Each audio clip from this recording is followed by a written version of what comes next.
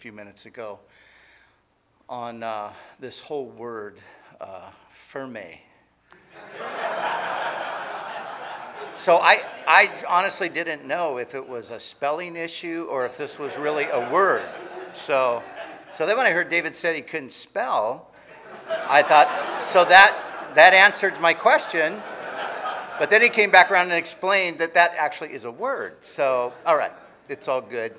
I kept looking at the poster seriously and going, did they misspell this word? But down here it says firm. So they couldn't have, like, I got it. All right, it's good. All right, so I want to talk uh, to you guys today about I'm just calling this the case for God. So we're just going to look uh, real briefly, kind of just at the, the, just the whole topic of atheism, and just kind of you know give a a basic outline of how to think about atheism in a sense, and and how to respond to um, atheistic claims. And, and of course, you know, it's, uh, it's fashionable in our current cultural moment to be an atheist. It, it's now like cool.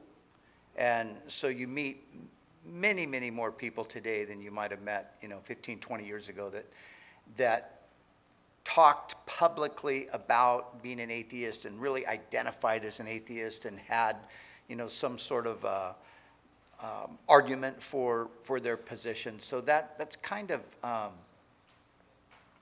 you know, where, where, where we're at in the culture today. So that, that's what I want to do. I want to address that topic. And I'm going to just read a couple of verses from Romans chapter 1.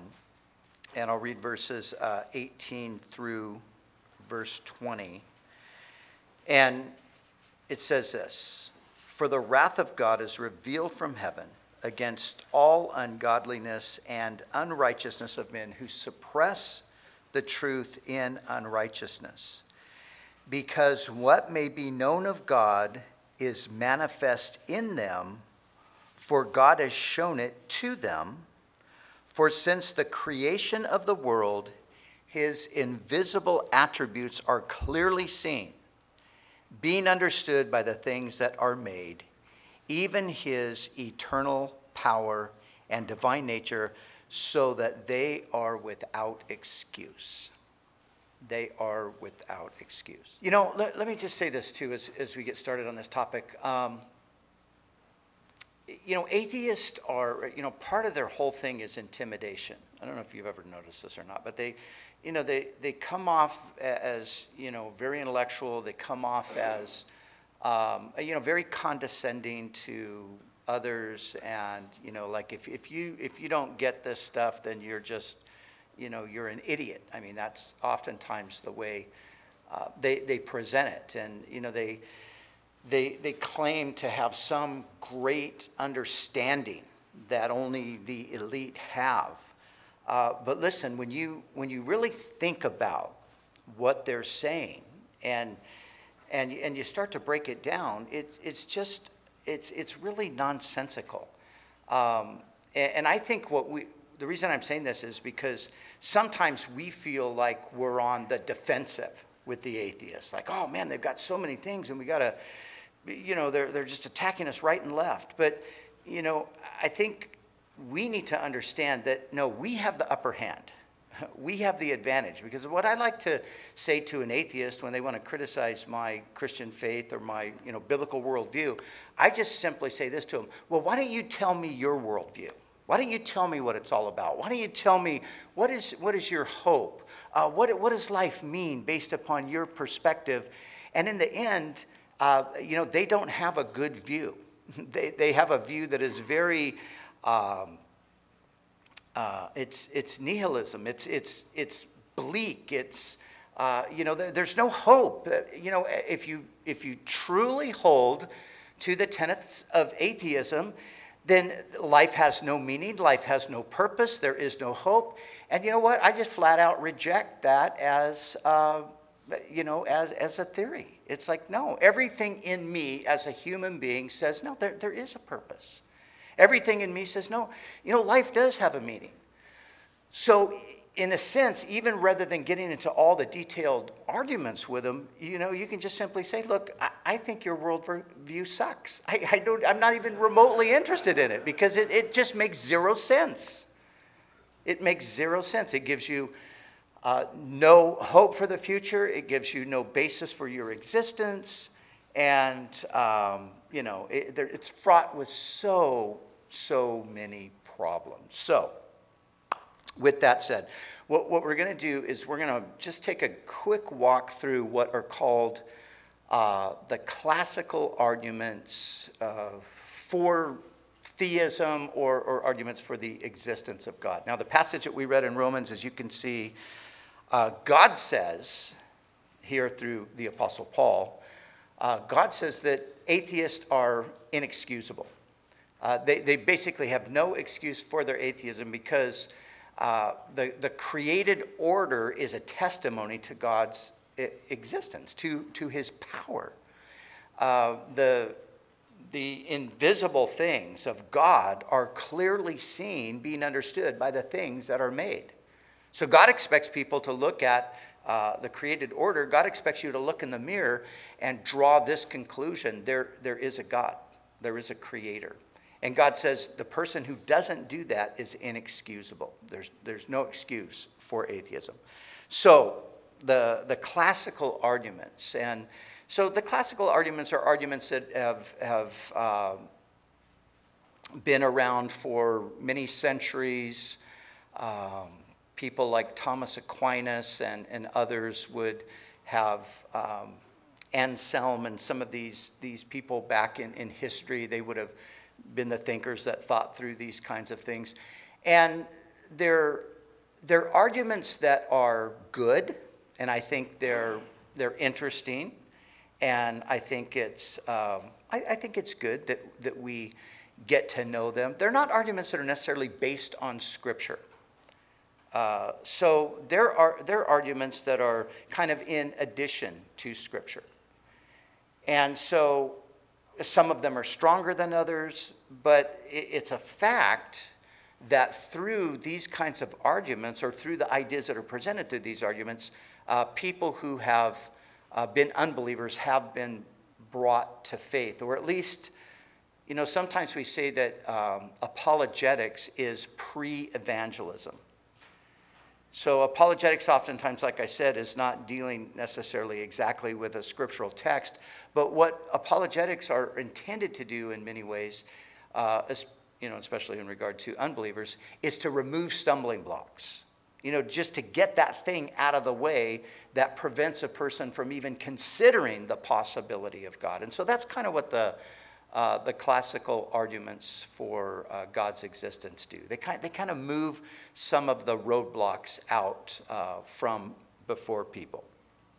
And so, there, I'll just give you the, the four that we're going to look at here today. We're going to look at the cosmological argument, and then the teleological argument, and the moral argument, and then uh, fourthly, we'll look at the argument from congruity and, and then I'm going to bring us all the way back around to, I think, the greatest uh, um, argument for the existence of God, but I'll save that for the last. So, the cosmological argument.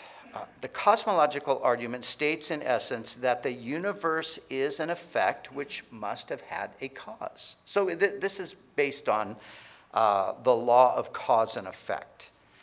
Now, We've all probably heard of that law, right? The law of cause and effect. Um, and, and what that law states is this that the effect cannot be greater in size or kind than the cause. No exceptions to the law of cause and effect have ever been observed. If followed, uh, or it follows that every effect we see in the universe must have had a cause. So this is just consistent all, all the way as far as um, we can observe. Uh, every effect in the universe must have had a cause, and we can trace all effects back to a first cause. So the first cause in the argument, of course, would take you back to God, and God is the uncaused cause. Some, some, some people have said, well, the weakness of this argument is that um, you're, you're presenting then that, that God is, um, God was not caused. Uh, he's not an effect. He is the first cause. Well, that's what we believe because we believe that God is eternal. And so, even though that might not satisfy the philosophically minded person, um, that's where we stop. We go back to a first cause. Now, think about this. So, so the, the, the universe is, is time, space, and matter or energy, right? That's, that's how it's broken down. So, looking at the cosmological argument, this is what it tells us that the first cause of time must be greater than time because the cause is always greater than the effect. So, the first cause of time must be greater than time, in fact, eternal. Uh, the first cause of space must be greater than space. Now, think, think about space for a minute, man. Space is just, it's so insane how. Um, you know, just the heavens themselves. And of course, the Bible says that uh, the heavens are the work of God's fingers, the moon and the stars that, that He has ordained. And, and when you think about the vastness of space, it is, it's mind boggling. It, it is ultimately inconceivable. Nobody even really knows, you know, the, now there's the, the idea that there are billions of galaxies, and we can't even fathom the, the end of, of the galaxy that we're in, but there, there's billions of galaxies. So, what I'm trying to get us to comprehend here is just space is so vast, but space is an effect. So, the cause of space has to be greater than the effect. And so, with space, uh, the first cause must be infinite. Space, even though it's incomprehensibly vast to us, it is finite. It, it started, it will end, it has, uh, a, a, you, you can measure it. Uh, we can't measure it, but God can measure it. And through the prophet Isaiah, he said that uh, the heavens, he, he held them in the span of his hand. That, that's a, uh, the distance between your index finger and your thumb. So that's space for God. For us, it's, it seems uh, infinite, even though it's not. So then we come to matter or energy. The first cause of all energy in the universe cannot be less than the sum total of that energy. The first cause is omnipotent. So here in the cosmological argument, you see through the, the, the law, and there are many people that would definitely say, yeah, the, it's a law of cause and effect. This is, it's always this way. That's what a law is, is something that consistently um, just shows the same thing over and over and over again, so that gets established as a law. Cause and effect um, is the argument um, here uh, as the cosmological argument. The second is the teleological argument. And um, this argument is the argument from design or purpose. So it, it states that where there is a design, there must be a designer. Where there is purpose, there must be one who purposed it. Now, again, like I said a moment ago, just in talking more personally, uh, but I think it's true for everybody. Um, everybody senses that even, even in your own life experience, that there, there, there must be some purpose for my life. Now, there are people who despair and um, just say, you know, life is meaningless and there, there is no purpose. But if you, if you got away from just the emotional aspect of it and you just started looking at some of the, the things that we see in the, in the physical realm, you would realize that, you know, everything, um, there, there's a design. Thing, things are very, very uniquely designed. Now, we live in a world where we're perfectly familiar with design. We, we, there are people who are designers, right? And design, we're, we're, we encounter design all day, every day, in everything around us. Um, we're living in the computer age. The computer, of course, is something that was designed. It was something that was made. It was something that uh, a lot of um, intellectual power uh, was put into. My son is a web developer, so he writes code and he builds websites and things like that. And, and he just laughs at the idea that you could have, um, you know, like the evolutionary idea is that all of this radically complex information that it just accidentally came together. And you know, I sit sometimes and I watch him write code. I have, it's like, what are you doing? How- What, what is that? And it's a language. How did you learn that language? That is a strange language. And I have absolutely no idea how this whole thing works, but, but I'll sit there and I'll watch him and he'll, you know, he'll type out this line of code and then he'll go back and he'll, you know, it, it was supposed to do something, but it didn't do that. So he'll back up, he'll go back to the code again. And, um, you know, so when you turn on your laptop or even your phone or whatever, I mean, we just take that all for granted. But tons of intellectual power went into the production of this. Tons of information are in this. So we see this everywhere, right? Now, the organic world, which is what we're made of, this we are we are basically machines.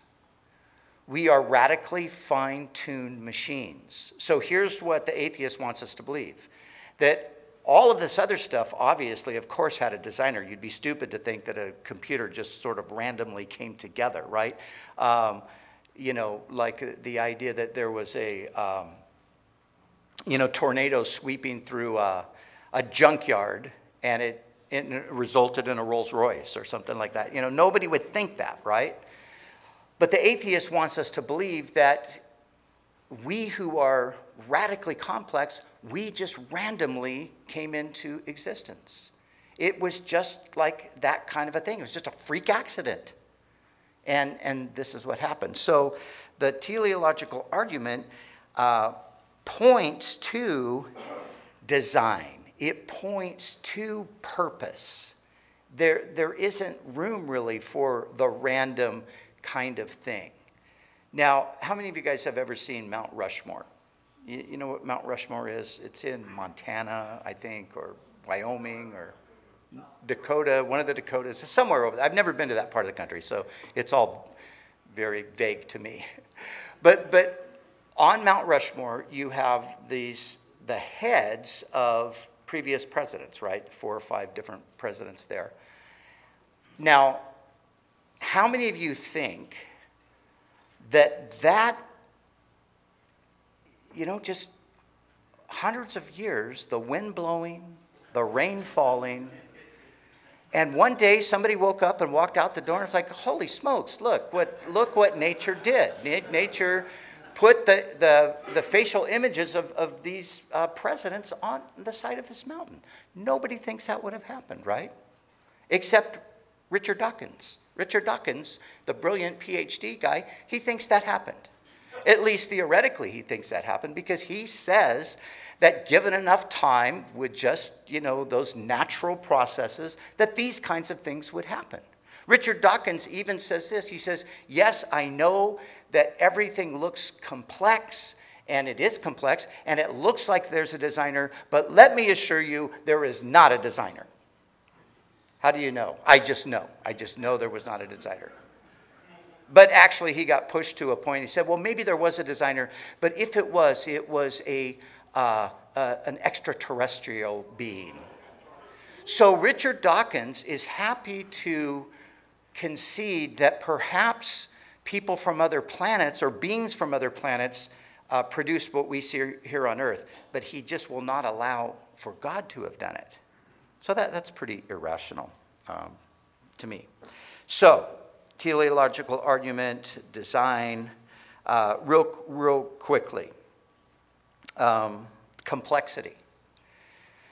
So, like I said, everything, you know, back in the days of Charles Darwin, he looked at the cell and thought it was simple. That's why it used to be called the simple cell. They thought it was just a kind of just a blob of of jelly. What they didn't know then, and they do know now, is that a cell is so incredibly complex that in one cell, listen to this, there's oh, trillions of cells in each of our bodies, but listen to this. In one cell, there is enough information to fill 8,000 volumes. We're talking books of, you know, 250 to 500 pages, 8,000 volumes. That's what it takes to spell out the information that's in one cell.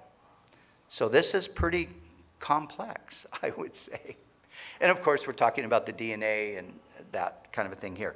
So the cell is complex, but then there's another step you can go with this, and this is called irreducible complexity.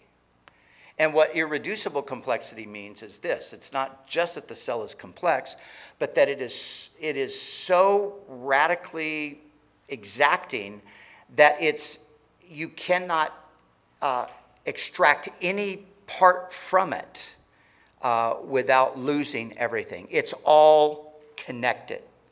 And one of the things that this creates a huge problem for with the biological evolutionist, because their idea is that you know, cells over long periods of time, they, they evolved, they developed. And so, um, you know, they, so, so they, they became more complex over time, millions of years. But irreducible complexity says no. There's, that cell itself could not exist uh, without the present complexity. So it's irreducibly complex. You can't take any part out of it and still have the cell function or do what, what it's actually doing. So that's an argument from, or, or that, that would be like a teleological uh, argument because you're looking at complexity. But then purpose. Uh, these are different things, right? Design is one thing, purpose is another thing. Uh, they're similar, but they're different. Um, the teleological argument says that obviously creation shows that there's a, a purpose. Now, some of you guys might have heard of this. It's called the anthropic principle. And anthropos is the Greek word for man, humanity. And what has now come about in the scientific world, and um, mostly intelligent design people are, you know, the ones that promote this, but there are others outside uh, who have to concede that this is actually the case. The anthropic principle basically says this that the world that we live in seems to have been prepared for us. That the way it's, it's also called the fine tuning argument, that, that everything is so fine tuned for life as we know it, complex life and human life. But let me, let me give you just two quick things that are easy to remember um, the sun and the moon. Now, remember, atheism is, you know, generally speaking, uh, bases itself on evolutionary ideas. Evolution is, is the idea that everything happened randomly by chance. Uh, you know, there was a big bang, there was an explosion, and this is how we got to where we are today. Um, but here's what the anthropic principle causes us to realize regarding the sun. Number one, if Earth were slightly closer to or farther from the sun, water would either freeze or evaporate, rendering Earth uninhabitable for complex life. So if you go with the atheist view, then that means at this explosion, the Earth and the sun, uh, you know, in the solar system and all that, it all landed just perfectly. And it stayed there in this perfect position. Not only the sun, but the moon. If, if Earth did not have a moon, listen, the right size and distance, it would be uninhabitable. The moon stabilizes the Earth's tilt, preventing extreme temperatures and thus creating a stable, life friendly environment. So you see, here's the question is the, is the earth and the sun, is their relationship, uh, is it an accident or is it intentional? Is it, was there a, is, is this a evidence that this is a, a purpose built in here? This, the same with the moon. Now, I think, to me personally, it just seems more logical that you would conclude that, no, it seems like this was designed this way. It seems like somebody planned it to be like this rather than it just, you know, accidentally happening. So that's the teleological argument. There's obviously many, many more things that you could uh, use. You can, and, and especially when you get into life on earth and, and man's position and all of that, there's so many, so many things that you could consider. But that takes us to the third argument, the third classical argument. This is the moral argument. The, mor- the moral argument states that there must be a God to account for the universal sense of right and wrong among people. Now, now this is a fact that all people throughout all time in all places, and that doesn't mean there weren't one or two here or there that might not have figured this out, but generally speaking, um, there has been a consistent morality from culture to culture, from people to people, nation to nation. In other words, they've all pretty much thought the same things were wrong and the same things were right. Uh, somebody challenged uh, C.S. Lewis on this many years ago because the moral argument was, was a huge factor in his own experience. And he went and researched and documented all of these cultures and basically showed in his book, The Abolition of Man, how, how everybody pretty much believed the same things were right and they believed the same things were wrong. Now, listen to what Lewis said about this. Lewis said this. He, he's explaining him his own experience. He says, My argument against God, now remember, he was an atheist. My argument against God was that the universe seemed so cruel and unjust. But how had I got this idea of, a, of just and unjust? A man does not call a line crooked unless he has some idea of a straight line. What was I comparing the universe with when I called it unjust? So Lewis explains that in his own experience, which ultimately led him to become a Christian, he began to realize that he was judging things by a standard that he hadn't set up. And so he argued for this, what, what he would call in mere Christianity, uh, the, the law of nature.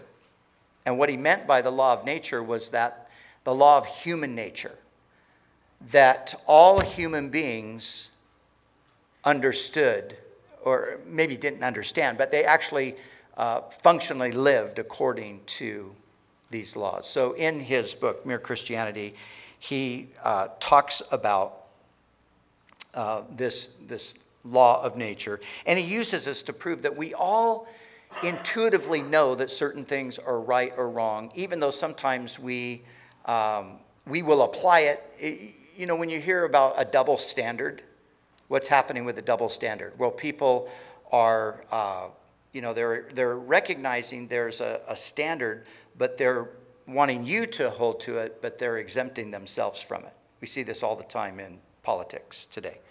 But here's what Lewis said uh, later on, after his own experience. He said, Two points I want to make. First, that human beings all over the earth have this curious idea that they ought to behave in a certain way and cannot really get rid of it. So this is the law of human nature. They can't get rid of it. It's just it's just built into us. We know. Now some people have tried to say, well, it's cultural. You were brought up uh, and that, that's where the research proved that no, it's not cultural. Everybody knows that murder is just wrong. Whether they were taught it, and even some cultures that glorify it, they still know it's wrong. Everybody knows that adultery is wrong, even though some cultures don't necessarily uh, look at it that way as far as their practice goes. But, but it's these kinds of things that Lewis said are a reality for everybody, and we can't get rid of it. Secondly, he said that they do not, in fact, behave in that way.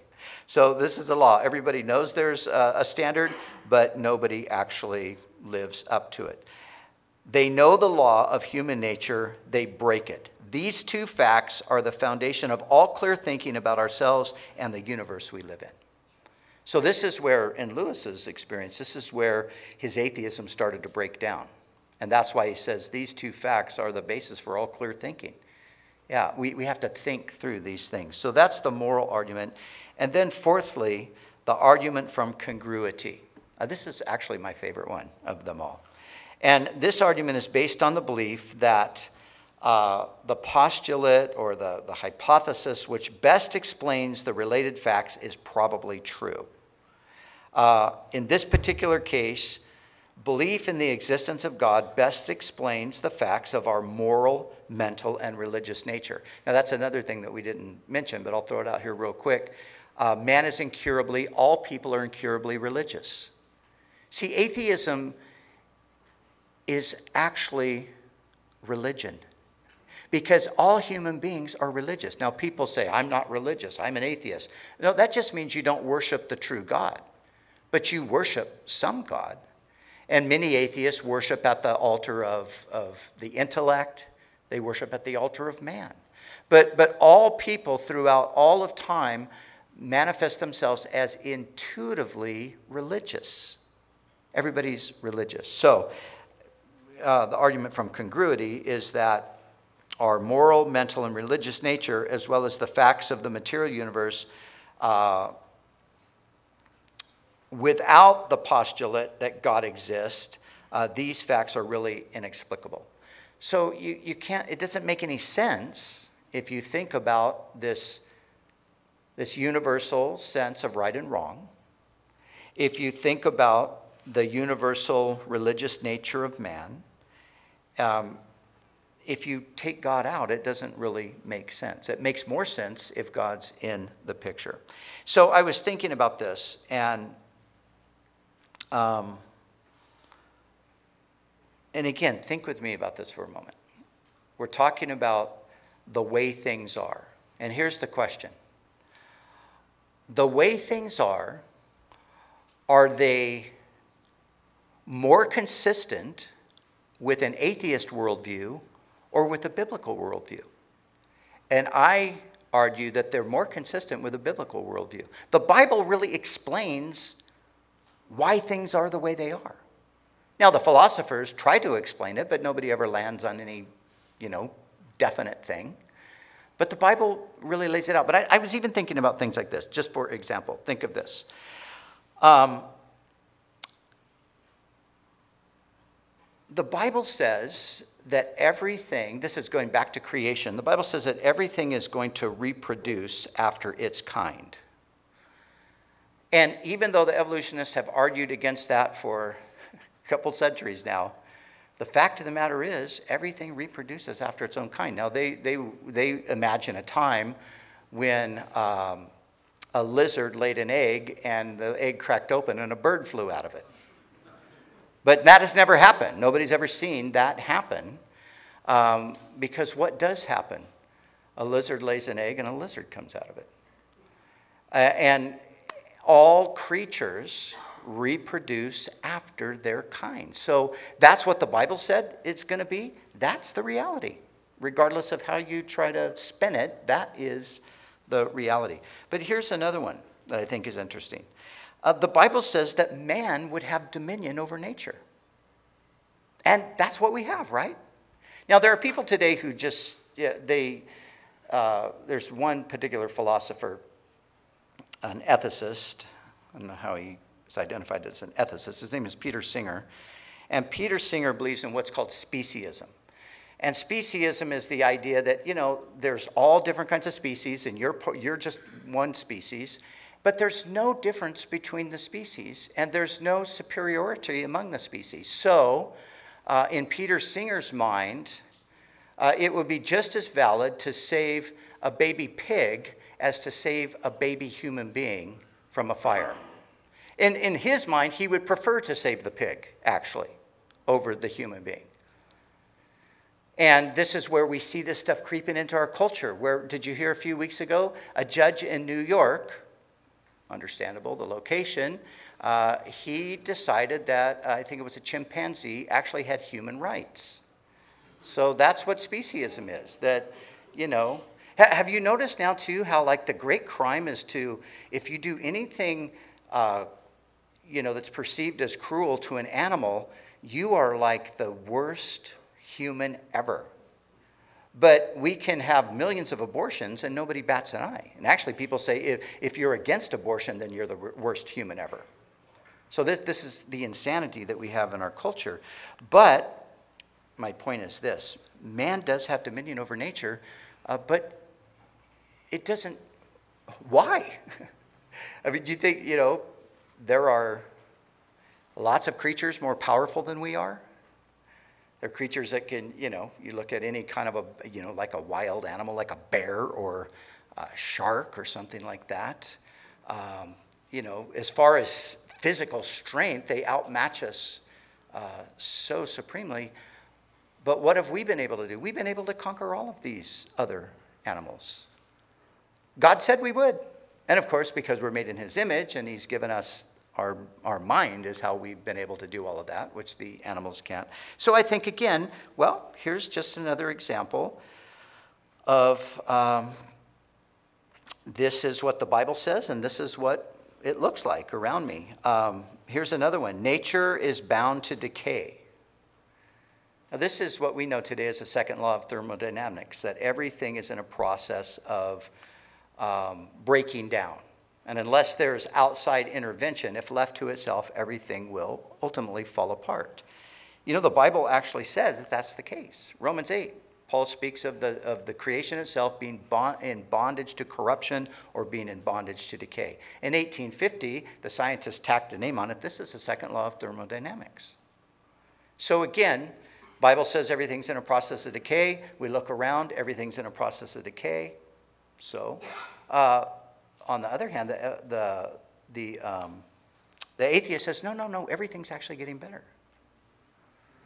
A man by the name of Steven Pinker, some of you might have heard of him, he recently wrote a book, and he's a humanist and you know very anti-Christ, and he basically says the world is the best it's ever been. It's wonderful. It is fabulous right now. It is just it could you know could hardly get any better. I don't know what world he's looking at, but uh, that's his that's his idea. Um, two more, real quick.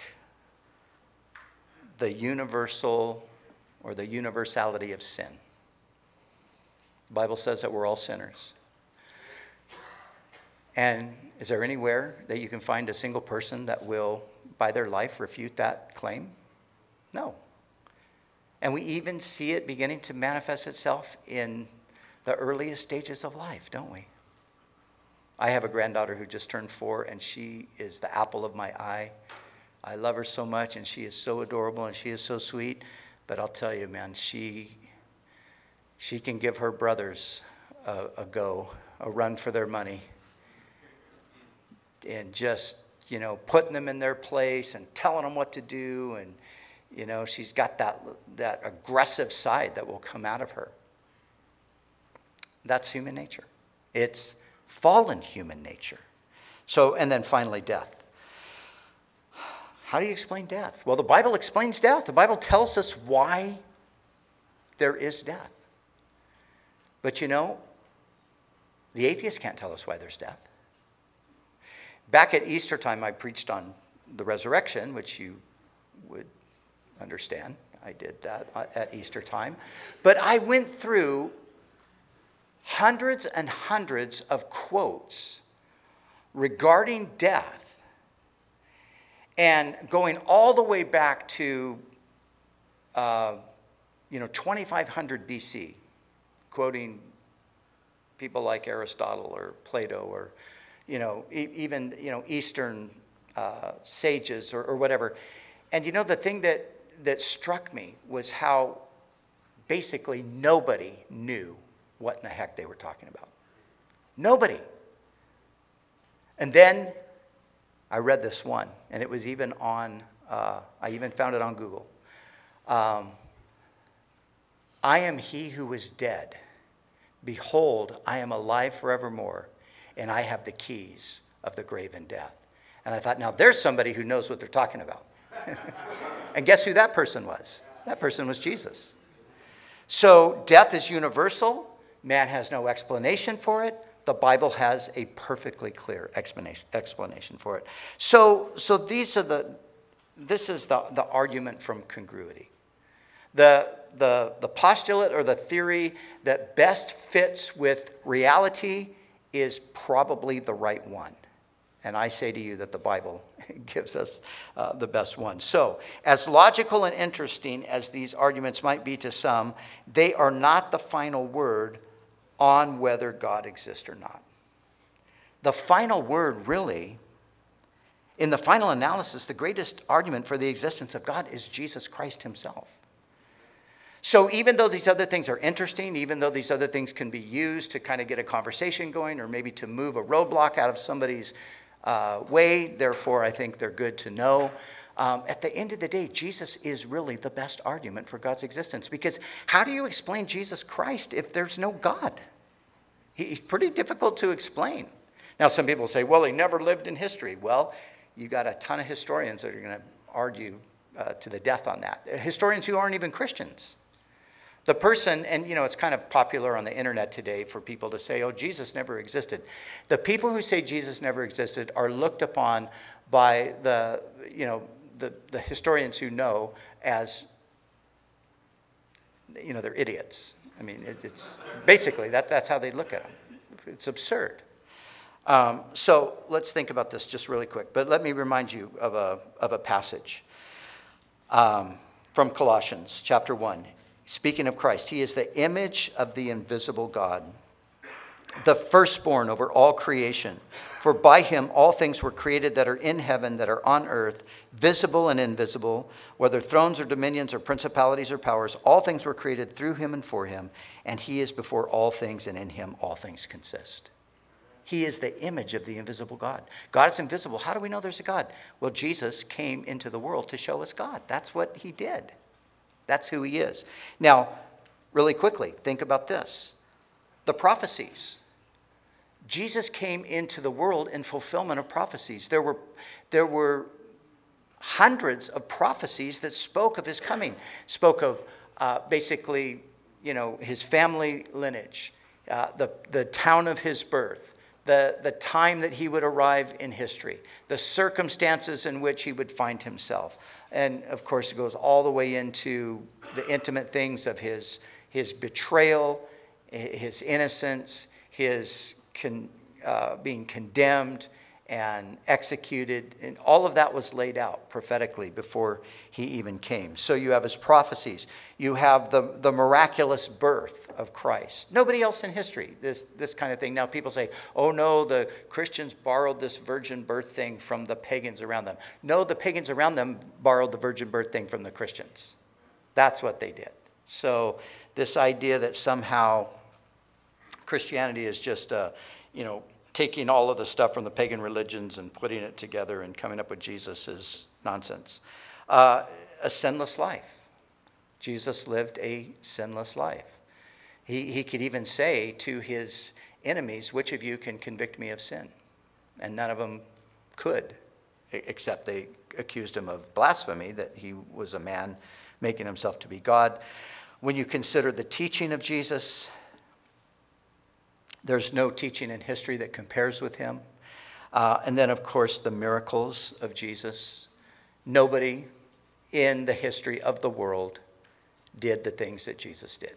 It's just no, no competition, no debate. There, there's no one else. Now, again, the, the skeptic, the atheist would say, oh, well, those things aren't true. They were just fabricated, they were just made up. Uh, but what they don't realize is that the Bible is a historical record. The New Testament is, is a historical document. Times, dates, people, places, it's all there. You can do the research. And if these things were fake, uh, somebody would have been able to prove that by now, and nobody ever has. So you've got the miracles of Jesus, you've got his death, which the prophet said would be a substitutionary death for sin, and then you've got his resurrection, which is a claim that um, if you, again, if you do the research, uh, you'll find that there's, there's no other claim in history that has any better proof for it than the resurrection of Jesus. So, in the final analysis, Jesus is the greatest argument for the existence of God. So don't forget that. And get to know everything you can about him. And of course, that happens primarily through his word. But you can get, you know, some additional information about some of the other facts. You can get that from other good resources as well. But I, I want to close with this. I'm going to close with quoting a man named Antony Flew. Antony Flew died a few years back uh, in his 80s. Uh, he was the world's foremost atheistic philosopher during the second half of the 20th century. So he was the guy who trained up all of the current um, atheists, the, the leading atheists. And he wrote a book just before he died, and the title of the book was There Is a God. And the subtitle of the book was How the World's Most Notorious Atheist Changed His Mind. And let me just close by reading to you what he said. He said, Science cannot furnish an argument for God's existence, but the laws of nature, life with its teleological organization, and the existence of the universe can only be explained in light of an intelligence that explains both its own existence and that of the world. How, it might be asked, do I, as a person, respond to the discovery of an ultimate reality that is an omnipresent, omniscient spirit? I must say again that my journey to my discovery of the divine has thus far been a pilgrimage of reason a pilgrimage of reason. I have followed the argument where it has led me, and it has led me to accept the existence of a self existent, immutable, immaterial, omnipotent, and omniscient being. So basically, that's his statement that I am no longer an atheist. I have now, in, in all of these years, through reason, this is the conclusion that I've come to. Then he says this Where do I go from here? In the first place, I am entirely open to learning more about the divine reality, especially in light of what we know about the history of nature. Second, the question of whether the divine has revealed itself in human history remains a valid topic of discussion. You cannot limit the possibilities of omnipotence. Speaking of God, if God's omnipotent, if He's all powerful, you can't limit the possibilities except to produce the logically impossible. That's the only thing God can't do, is produce the logically impossible. Everything else is open to omnipotence, with particular reference to the Christian cl- claim that God became a man, that God became man in the person of Jesus Christ. As I have said more than once, listen, here's the punchline. No other religion enjoys anything like the combination of a charismatic figure like Jesus and a first class intellectual like Paul. If you're wanting omnipotence, if you're wanting a God to set up a religion, it seems to me that this is the one to beat. That's pretty heavy coming from the world's most notorious atheist. Um, the sad thing is, nobody knows whether he ever received Christ before he died, but he did make this statement and was surrounded actually by many uh, capable Christians. So, so the classical arguments for the existence of God, the cosmological, the teleological, the moral argument, the argument from congruity, but the ultimate argument is Jesus.